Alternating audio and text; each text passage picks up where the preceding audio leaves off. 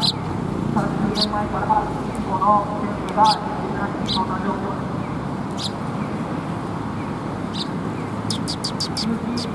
車の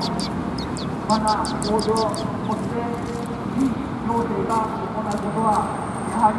公共の道路をしっかりと安全に運行できるようにすることだと考えておりま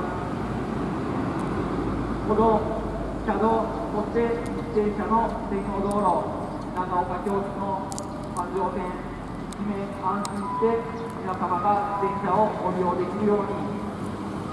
自転車、引き続き皆様、今日は子育て世代の代表として、そしてこれから対応していく一人の息子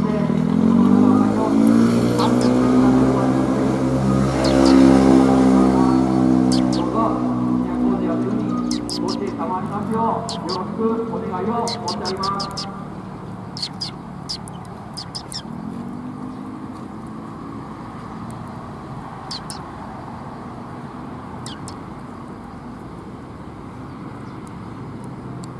え皆様、本日は青葉町市市会議員選挙務めとなりました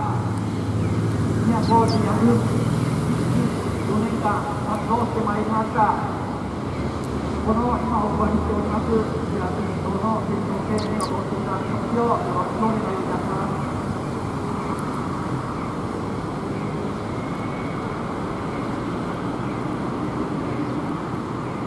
え私